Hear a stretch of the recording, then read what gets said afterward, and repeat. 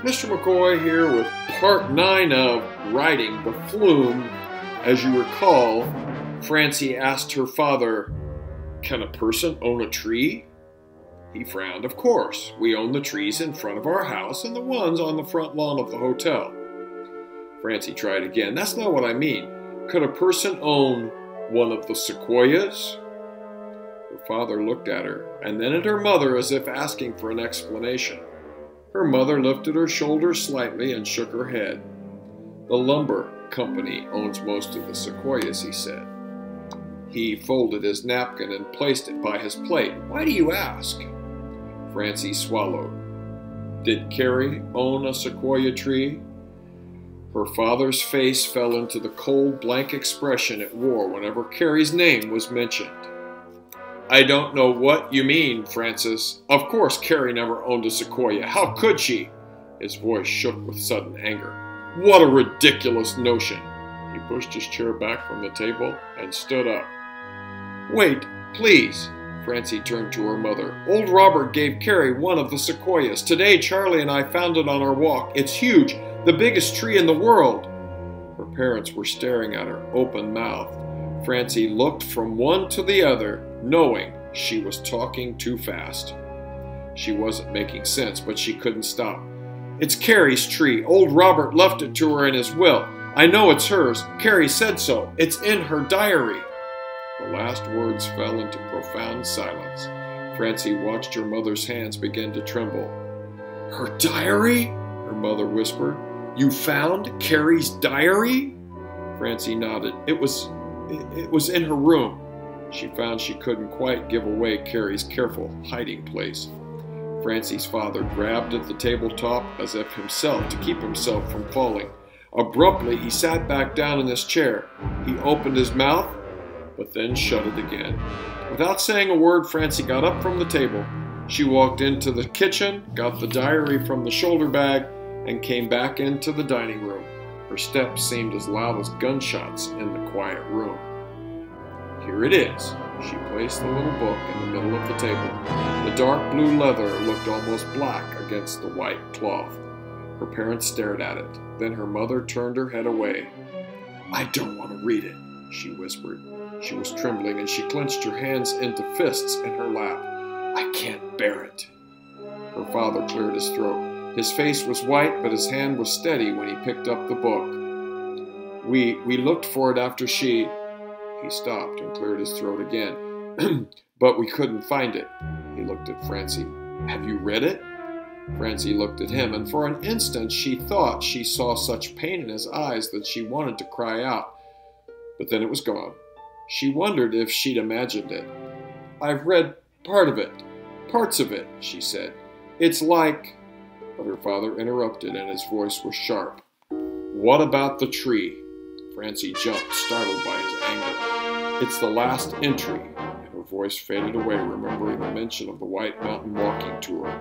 He shouldn't have to read that. Here. She reached over and took the book from her father's hands. When she opened it, her mother stood up, pushing her chair back so fast it screeched across the wood floor. I can't listen, she said. She held her napkin to her face and almost ran from the room. In a moment, Francie heard her feet on the stairs. Then, in a trembling voice she knew would still sound much like her sister's, she read Carrie's last entry. August 13, 1888. I saw old Robert again today. He took me up over the mountain and showed me my tree. My tree. It is enormous, bigger than any other sequoia in the entire valley. Maybe it's the biggest tree in the entire world, and so old. Think of the history it has witnessed. I can't fathom it. It is so, so beautiful. A prince among trees. No, a king, an emperor, and I am the steward. No, I am the knight, sworn to protect my emperor or die in the attempt. Can old Robert really give me a tree? He says he can. He showed me the will, and it looks very official.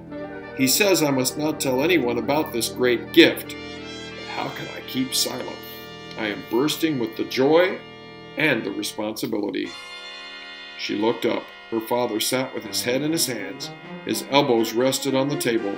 She wondered if he was crying. Father? She reached out, but as she touched his arm, he jerked it back, away from her. And what was your question?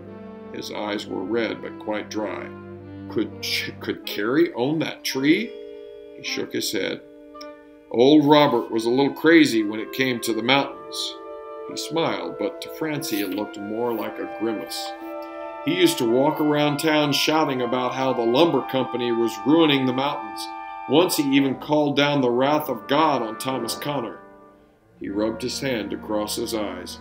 I'm sure he thought he was doing something noble in giving Carrie a tree, and from her words, his voice broke then.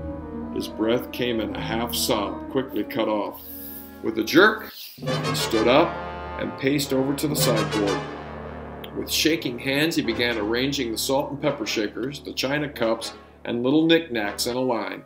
He picked one up, a delicate china shepherd girl in a light blue dress, and looked fixedly at it rather than at Francie. He continued, Your sister was a faithful child, as her words show, and old Robert might have truly believed that he was giving her one of the sequoias, but the lumber company owns all that land. Carefully, he placed the China girl in line with the others. Lewis Granger graciously let the poor old man live there, but I'm quite sure his cabin was on lumber company land. Then, still without looking at Francie, he walked out of the room. In a moment, Francie heard the front door open and then close again, and she knew he was going back over to the hotel. She sat in the quiet with Carrie's diary in her lap. Shouldn't have told them, she whispered. They're still too sad. Do you agree with Francie that she shouldn't have told her parents about the diary and about the tree? Share with your fellow listener. She blinked away her tears. Her father wouldn't come back until late. He might even work all night. Nothing more would be said about Carrie or about the tree, and especially nothing would be said about the diary. Ever. She picked up the book and held it to her cheek. This was all that was left of her sister. She opened the book at random and read another entry. November 30, 1887. It is snowing, and the last of the loggers left a few days ago. There will be no more tourists until spring. Charlie begged his mother to let him stay the winter with us, but the answer was no, as it was every year. So he has to go back to St. Joseph and go to school. Poor Charlie. I would much rather do the lessons Mama makes for us after the hotel closes for the winter than have to leave the mountains and go to school.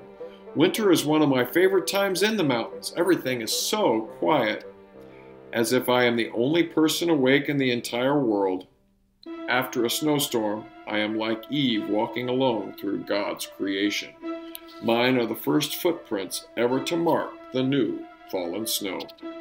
The next sentence was heavily crossed out. Francie stared at it until her eyes burned, but the words were lost forever. And then Carrie had written the last sentence in an even more scrawled hand than usual. Papa has finally given me permission to go out. I will take Francie with me. I will be Adam, and she can be Eve. We will discover the world together. Her name, written in Carrie's diary, Francie smoothed it with her finger as if by touching her name she could somehow touch her sister. She thought she might even be able to remember that day, the snowflakes flying thick, landing on her lashes, the warmth of Carrie's mittened hand holding hers, keeping her from falling as they stomped through the snow, making footprints. Francie blinked. Her lashes were wet, and it took a moment to realize that they were wet from tears and not snow. She shut the book with a snap. She was just now beginning to discover Carrie's world, and she had to do it alone. She began clearing the table, breaking the silence with the clink of dishes, the clatter of silver as she tossed knives, forks, and spoons into the empty vegetable bowl. She pumped water in the big kettle and thumped it down onto the stove. She tossed a few more pieces of coal from the coal bucket into the stove and let the iron lid clank down. At least, when her mother crept downstairs in the middle of the night, she'd find the dishes already washed, dried, and put away. After she went up to her room, she opened the secret hiding place in the wardrobe and placed the diary inside. I need you, Carrie, she whispered. smoothing the soft leather cover. She lowered the false bottom and closed the wardrobe doors. I don't think I can do this by myself, and there's nobody here to help me. It wasn't until she was in bed and drifting towards sleep that her father's words came back to her. I'm quite sure his cabin was on lumber company land. He hadn't said Robert's cabin was on lumber company land. Somehow, the way he'd added, I'm quite sure, suddenly sounded to Francie almost as if he wasn't really sure at all. But before she could examine that thought more carefully, she was asleep. So do you suppose Robert's cabin was on company land or not? Share what you think with your fellow listener. 3,251. 3,252, Francie said, and put her finger on the tiny circle of wood in the exact center of the old stump. 3,252. She said it again, out loud, even though there was nobody else in the basin to hear her. Only the squirrel who kept scurrying up the trunk to check on her and then scrambling down whenever she made a face at it. Did trees feel? Could they think? Did this one have any idea what was happening when Bill Weaver or whoever was the faller made the first chop with, with his axe into its bark? She looked to the north, and with her eyes she followed the path that wound through the basin, the same path that yesterday had led her to Carrie's tree. How old was that one? Would they cut it down too with as little care as they had for this one? She knew they would, if they found out about it. She closed her eyes and, with a little prayer that Charlie would keep this secret, he was good at keeping secrets. Hadn't Carrie said so in her diary? The cotton shoulder bag was lying beside her in a puddle of soft gray fabric that outlined the shape of the diary inside it.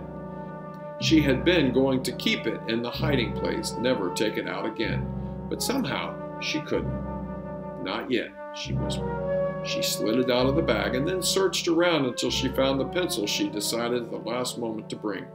She opened the book to Carrie's last entry and then turned one page. June 16, 1894. Her hand was shaking. She put the pencil down and wiggled her fingers. Then she began again. Dear Carrie, today I finished counting the rings on the old sequoia stump the first one they cut in Connors Basin. It was 3,252 years old. I shall write Mr. Cord a letter telling him. I haven't seen any of his articles because Father takes the newspaper to work with him.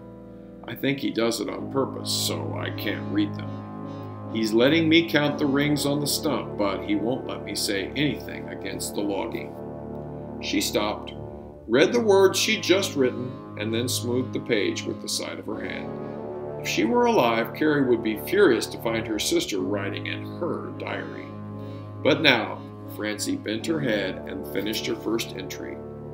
Someday I will climb Connors Peak like you, Carrie. She lifted her head again, an idea bubbling inside her. Suddenly she couldn't write fast enough. In fact, I will go all to the pla- I will go to all the places you went. I'll write about what I see.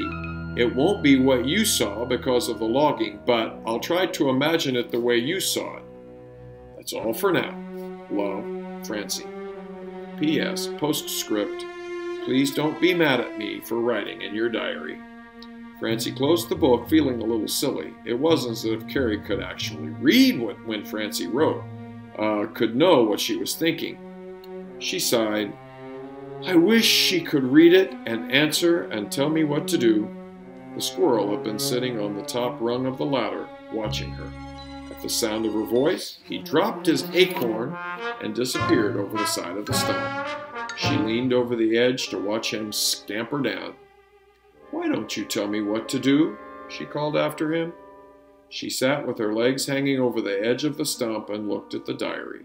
She wanted to climb to the top of Connor's Peak to read Carrie's words, but according to the diary, it was an all day climb or Carrie hadn't minded missing supper, but Francie didn't dare risk it. This would have to do. She opened the book again. June 16, 1887.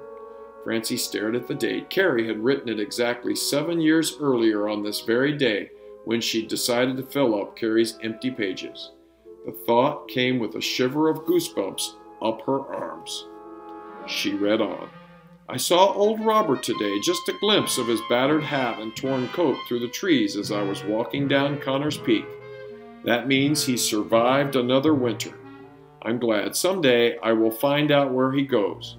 He told me once that he hibernates. He couldn't have been serious, but with old Robert you never know. He's a strange creature indeed, almost like a bear at times. Francie closed the diary, keeping her finger between the pages to mark the place. It was a little like reading a novel. If she kept on, would she find the truth about the tree and old Robert? What do you think? Share with your fellow listener. Moments more are in store. Keep listening. June 21st, 1887. Today I visited old Robert at his cabin. It was truly an honor. He saw me in the basin and invited me to tea. His voice was cracked and gravelly as if he hadn't used it much, but he has such a nice smile. I said yes, and then without a word he turned and marched off. I followed him up Connor's Creek. His cabin is about an hour's walk from the basin near the place where the creek forks. It's a beautiful place surrounded with wildflowers. Dogwood grows all around, and monkey flower, and a stunning bunch of phlox in one place where the sun shines most of the day. You wouldn't expect to find that one in the woods, not enough light except in that one place. Old Robert boiled the water in an old kettle over a tiny iron stove and served the tea in two delicate china cups. Why do you suppose he has china cups in a rugged mountain cabin? When I asked him, he acted as if I had not spoken at all, but he did ask me to visit again. I think I will. He has two books on a corner shelf in his cabin the Bible and Shakespeare's sonnets. He can recite both from memory. Was quite amazing, this old bear of a man quoting Shakespeare's love poetry.